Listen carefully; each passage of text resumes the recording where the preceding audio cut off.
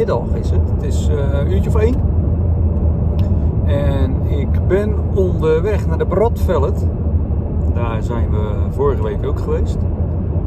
En daar kun je een mooie wandeling maken, schijnt. Ik weet niet of die mooi is, want ik heb hem nog nooit gedaan. Dus. Maar uh, daar ben ik naartoe onderweg en dan ga ik lekker wandelen. En nou ik ben alleen onderweg. Jacques is er niet bij. Ja, die zit natuurlijk nog met de rug. Ze kan wel uh, een stuk lopen, maar echt heel lang dat, uh, dat gaat nog niet. Dus gaan we lekker eventjes zelf op pad. Ook leuk om ja, toch eventjes weer wat te ontdekken. Het is een, wat zal het zijn bij ons huis vandaan? Een kilometertje of 20 denk ik, zoiets. Dus dat ga ik doen. Dan ga ik lekker wandelen. Het weer is een beetje half-half. Ik ben, niet weer, ik ben natuurlijk weer niet goed voorbereid. Zoals gewoon. Ik heb weer een truitje aan. Ik heb wel een regenjasje bij me hoor, dat wel. Een rugzak. En dan denk je, ja, wat moet ik allemaal in die rugzak kwijt? En dat zal voor ons, ja, wij zijn daar nog redelijk onervaren in. Dus dat zal een beetje moeten groeien. Ik heb in ieder geval wat te drinken bij me, wat te eten bij me. Nou ja, mijn telefoon natuurlijk. Uh, een regenjas. Maar ja, dan denk je, je hebt de rugzak en er zit haast niks in. Oh, precies het zonnetje bij jullie. Even kijken, hoe doen we dat? Zo. Uh, dus ik ga jullie meenemen op deze wandeltocht. En ik hoop dat het de moeite waard is. Eventjes een stukje rijden. En dan uh, gaan we lekker beginnen met wandelen. Ja, we zijn uh, bij de Bradvellet. Geparkeerd. En eventjes voor jullie. Kijk, hier is het informatiebord. Er hangt hier een soort vuilnisbak. Daar zit een map in. En dan kan je in alle talen kan je info eruit halen. Duits, Nederlands. Ik neem de Nederlandse versie mee. En ik ga even kijken welke kant ik op moet om te wandelen. Je kunt hier uh, drie wandelingen maken. Het staat hierop. Uh, 1 kilometer, 2 kilometer of 7 kilometer. En de 7 kilometer is een pittige. Die gaan we doen. En ik hou van pittig. Dus die gaan we doen. En dat heet het Hal Go-pad. Je schrijft Halga-pad, maar ik spreek het uit als Hal-Go-pad. Die gaan we doen. En uh, nou, hopelijk zien we een paar mooie dingen onderweg. Het is voor mij wel een beetje onduidelijk. Kijk, dit is de Halgaleden. Dan hebben ze een route van 1 kilometer. Ik denk dat dat deze is. Dan de langere is deze. En dan de hele lange is deze.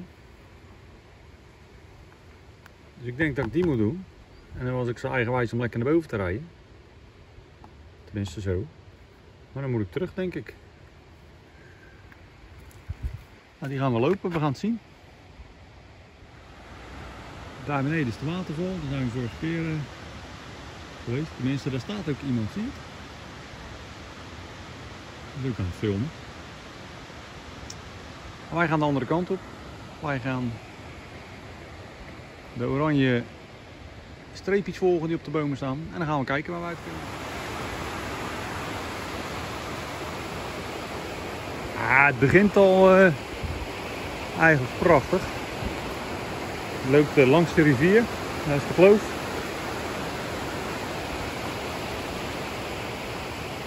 Helemaal geweldig.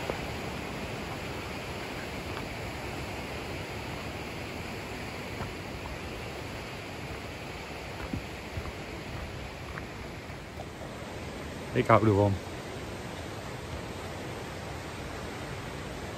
is wel een beetje rotsachtige grond, dus je moet goed opletten. Maar uh, wobbelen lekker verder.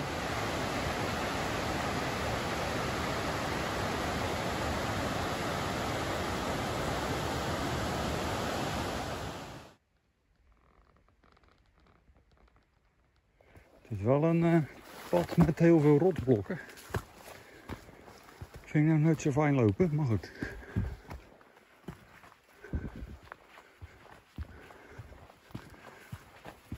Aardig wat gekapt. Om de route weer een beetje begaanbaar te maken volgens mij. Maar hier moet je van houden.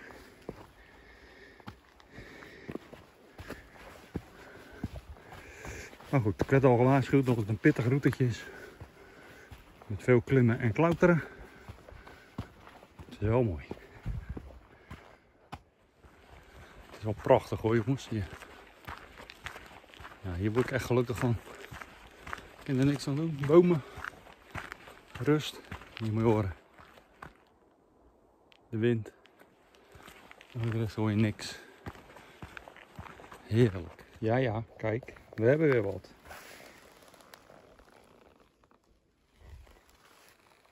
Poep. Poep. Waarschijnlijk is dat forse poep. Zover gaat mijn kennis al. Hetzelfde als uh, die we bij de schuur gezien hebben.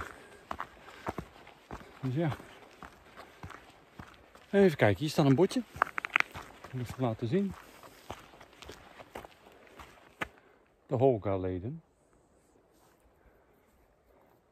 Gek is dat er ook een pad rechtdoor gaat en er staat geen bordje bij. Ja, ik ken hier rechtsaf. Even kijken hoor. En ik ken rechtdoor. Dat is een beetje eh, moeilijk. Kijk, daar is het oranje. En daar is het oranje. Maar ik gok dat ik die kant op moet. En dat ik zo meteen hier weer uitkom. Dus we gaan uh, rechtsaf. Ik denk dat het een soort uh, lus is die je loopt. Dus uh, de borden maar volgen. Kijk, het leuke is, langs de route staan ook allemaal infoborden. Nou, hier heeft een heel groot ijsblok gelegen. Ja, goed. Het is nu een open vlakte. We volgen onze weg weer.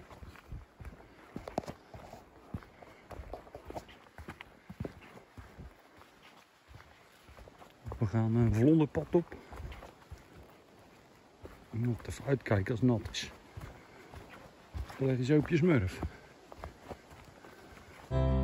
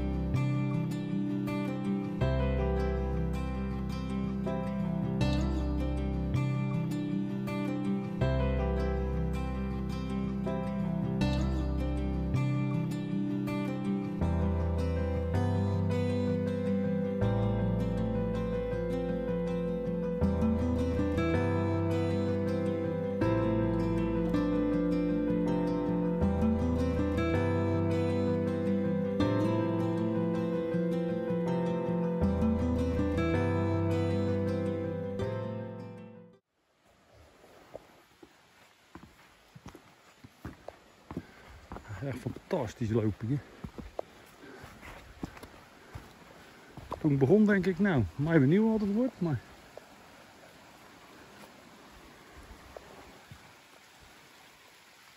Ik vind het helemaal goed.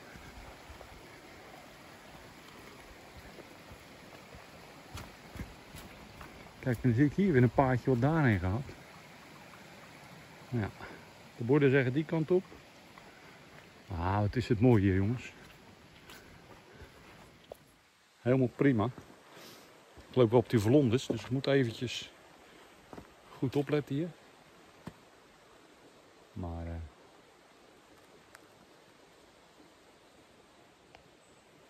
Geweldig.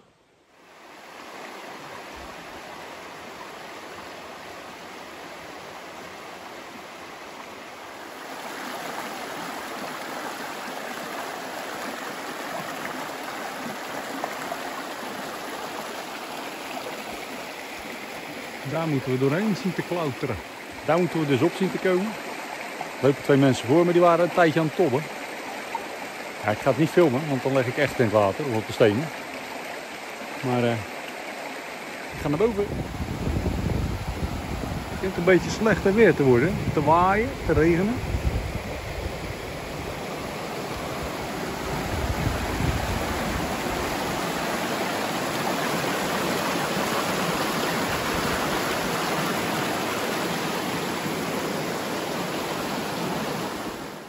Nou, hier. Je kan zelfs slapen als je wil. is even jammer, want de hoogspanningsmast die hier staat. Maar het is hier mooi, hè? Dit is wel een hele bijzondere paddenstoel. Nou, als ik zo kijk, denk ik dat die gewoon een ongeval is. Ja, er staan er heel veel langs het pad. Ik heb er geen verstand van. Maar kijk, allemaal verschillende soorten ook.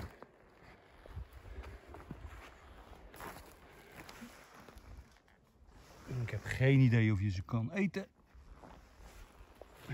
Dan vind ik champignons ook niks. Dus geen paddo's voor mij. Nee, daar sla ik lekker over. Ik vind het prima zo. Zo. We gaan weer even een heuveltje op. Het is haast niet over te brengen, denk ik. Maar die kleuren, joh. Moet kijken. Ja, echt waanzinnig. Maar ja, wel van die winter. Tenminste winter, herfst bedoel ik. Gaat wel erg snel. Maar die herfstkleuren, prachtig toch? Ja. Ik al gezegd dat het mooi was?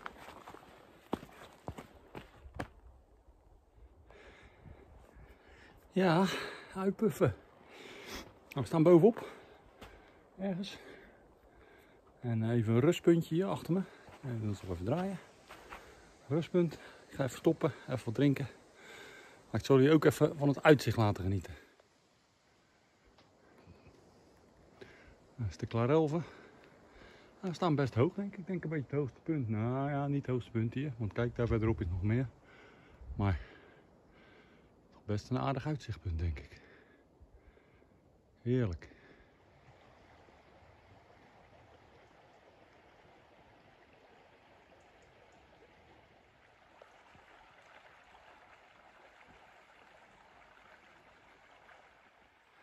We zijn bij een brug aangekomen. Maar uh, ik weet het niet.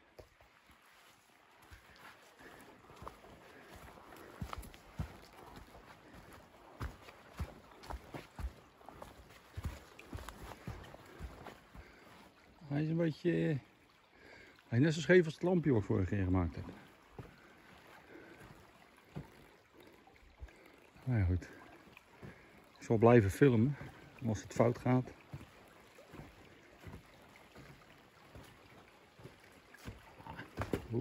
Zo, daar ging bijna. Mooi. Echt mooi. Andere kant. Net een schilderij. Echt gaaf.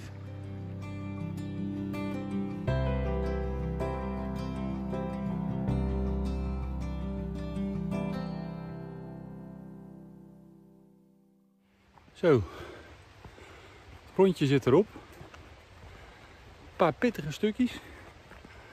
Ja, ik ga geen eh, punten geven of zo, maar als je nou zegt, uh,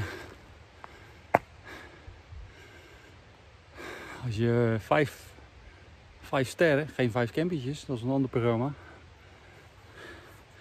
Nee, uh, moeilijkheid 5 is, als dit moeilijkheid anderhalf, 2 denk ik zitten een paar pittige stukjes tussen, maar over het algemeen goed te lopen. Ja, die stenen vind ik nooit zo eh, fijn, zeg maar. En terugweg moest ik hetzelfde stukje nog een keer. Ja, dat is niet zo fijn lopen. Maar goed. Heerlijke wandeling, kilometer of 7 was het volgens mij.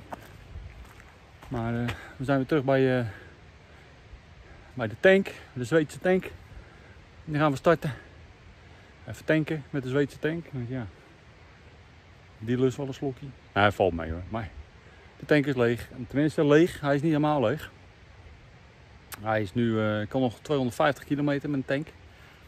Maar ik denk dat het raadzaam is, zeker in deze omgeving, om je tank nooit helemaal leeg te rijden. Want ja, een ritje ziekenhuis heen en weer is zo 120, 130 kilometer. Dus je moet altijd wel even zorgen dat, uh, dat er genoeg in de tank zit. En als de, die boel hier gaat branden, moet je ook wegwezen.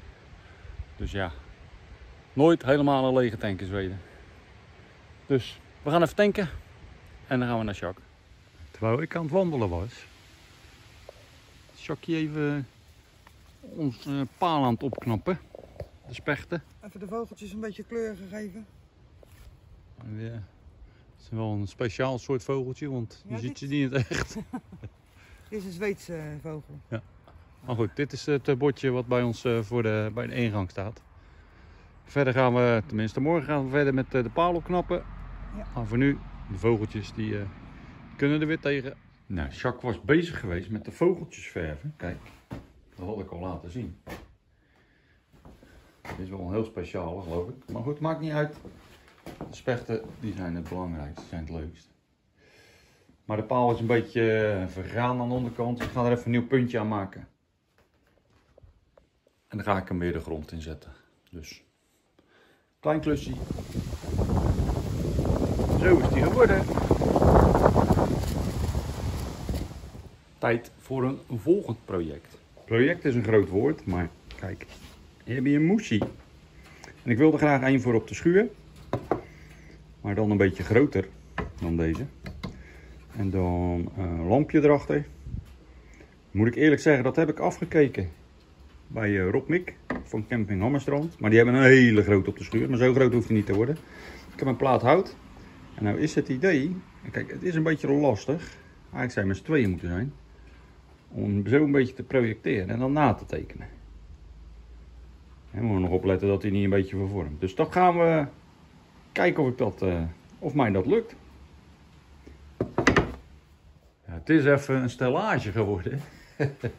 een trap met een vastgebonden eland. Kijk, onder de lamp. En dan krijgen we dit op het hout. Dus die gaan we natekenen en dan kunnen we hem uitzagen. Daar hangt de eland. En zo heb ik hem een beetje nagetekend. En nu gaan we hem uitzagen.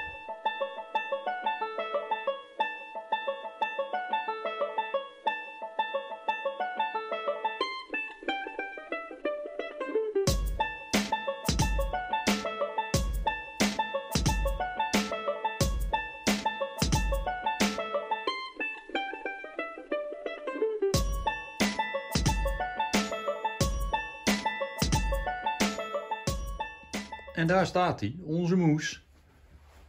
Helemaal uitgezaagd. Nou, we gaan hem nog even zwart maken. Maar we hebben geen verf. Dus we moeten even verf gaan halen. Daar ligt hij. Eerste laagje zwart zit erop. We gaan nog een paar laagjes geven. Ja, het is een beetje vertekend beeld zo, maar hij is aan het drogen. Er zitten blokjes hout achter. Dit is een los blokje hoor, maar hierachter zitten twee blokjes hout. Er kan een mooie verlichting achter. We zijn even bij de Dollar Store geweest. Karken Key, maar die hadden ze niet. Ze maar een slietje kerstlampjes gekocht. En die gaan we er even achter maken. Nou, de lampjes gaan we natuurlijk vastmaken op de achterkant. Maar ze zijn net even te breed om in een nietje vast te zetten. Dus ik heb nog die tie die je eigenlijk koopt en eigenlijk nooit meer gebruikt. Die doe ik hier omheen, doe ik de snoer ertussen. Maak hem vast en klaar. En daar hangt hij. Hij is een beetje gevlekt, maar het komt omdat hij nog nat is. Hij moet nog drogen. En straks even in het donker even een nieuwe foto maken. Het begint al een beetje donker te worden. Zo is het eindresultaat. Nou ja, hij kan natuurlijk veel groter nog. Maar ik vind hem helemaal goed gelukt zo. Beetje op afstand.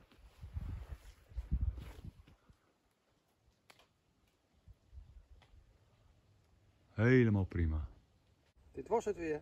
Bedankt voor het kijken. En als je nog niet geabonneerd bent, vergeet tot dan niet te abonneren. En een duimpje omhoog vinden we altijd heel erg leuk. Nou, dit was hem. Bedankt voor het kijken. Ik zou zeggen tot de volgende. De mazzel. De mazzel.